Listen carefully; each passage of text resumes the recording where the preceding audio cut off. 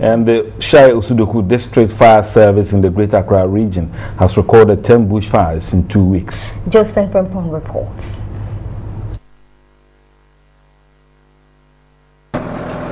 We, we met these firemen fighting in the raging fire in one of the forest reserves lives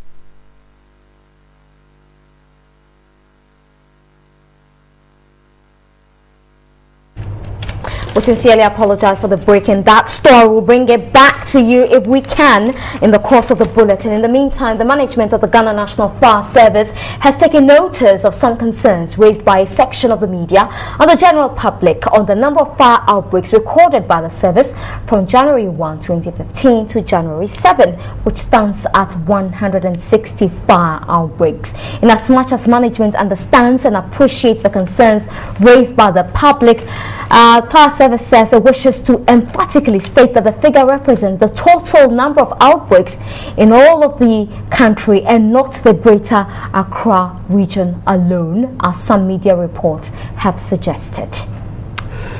You're watching News 360 and uh, we may have to go back to the Dodowa fire story at this moment and then let's see if this time our machines will be in our favor. So the Shai Osudoku District Fire Service in the Greater Accra region has recorded 10 bushfires in two weeks. We have this report by Jocelyn Frimpong.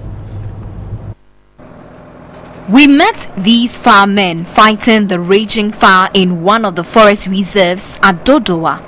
Uncle Paul, who lives close to the reserve, had his heart burnt. Ah, mi nso mi wɔ fie sese a mɛhu ne ɛgya ɛgya aba ɛti mi mi nanto kɔ akyiri hɔ ɛkɔ hwɛ ihu sɛ carpenters no wɔn de sawdust bi agu ha ɛnum na ɛgya no firi abɛpim ha no.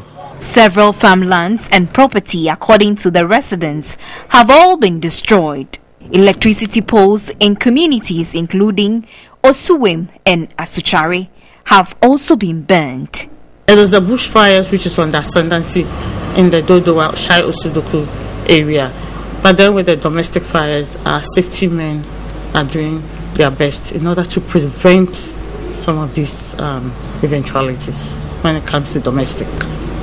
On Sunday dawn, a 90-year-old man was burned to death when fire razed down his house at Dodowa, according to the fire service report. Firemen will now be deployed to visit farms every day to educate farmers on bushfires.